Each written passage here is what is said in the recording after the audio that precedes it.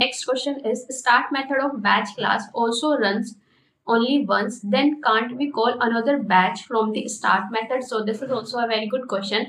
As we know we uh, we cannot call our another next batch from the execute method but here uh, as the execute method runs number of times uh, depend upon the number of records how many chunks will be created. So this much uh, this many time it will going to call our batch class.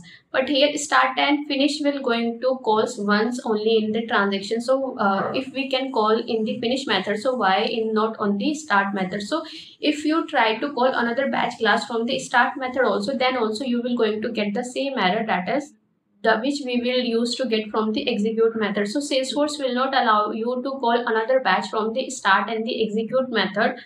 Only the solution is to call another batch class is either you can call it from the finish method or you can call it from the queueable apex.